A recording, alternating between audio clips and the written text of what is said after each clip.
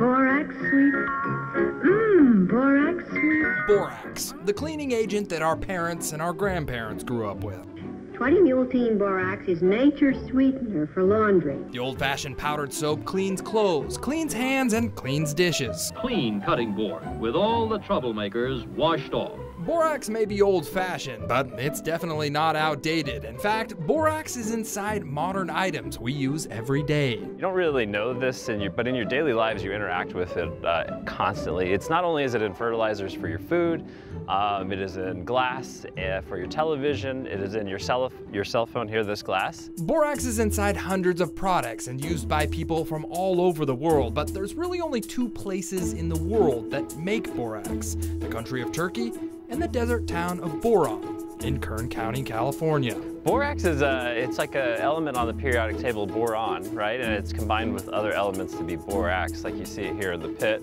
The pit that General Manager Rennie Dillinger is talking about is the U.S. Borax Mine, the largest mining operation in California. We supply about 30% of the world's demand from, from this location here. Without actually visiting the pit, it's pretty hard to fathom how big it is and how much borax is being removed. That's deep, really deep. Lucky for you and me, the US Borax has a fantastic visitor center, which gives you an up close look at the mining process and the equipment. It's about 25 feet tall, uh, 20, 22 feet wide, and hauls, like I said, 270,000 tons every time that we take it to the surface. Borax is normally sold in powder form, but to get that powder, massive dump trucks must move borax boulders from the mine to the processing plant so they can be crushed and purified. Rennie says it's not uncommon for these monster trucks to be running 24 hours a day and burning about a 1,000 gallons of fuel each shift. How much to replace one of these tires? It depends. It, it kind of changes on you in time, but 20 to $60,000.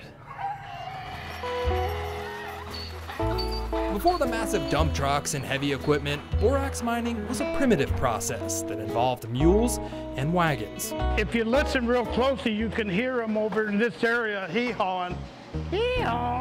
After learning about the modern mining process at US Borax, historian Jerry Gallegos welcomes people to the 20 Mule Team Museum in Boron to learn about the old school way. It all started in Death Valleys where uh, they actually discovered Ulexite borax. In the early 1880s, borax was mined in Death Valley with a team of 20 mules.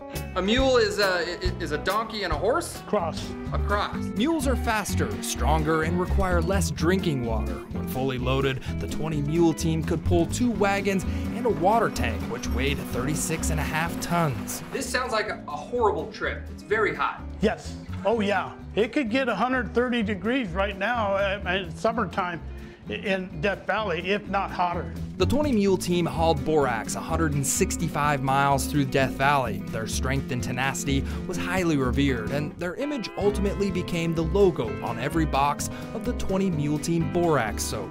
Borateem, borax bleach, the, the borax hand cleaner, so everybody, that's what we've always been known for. From fire retardant to ceramics, innovators are constantly finding new applications for borax. But recently, a new element was discovered in the mine. So we have um, executed ways to extract lithium from waste material.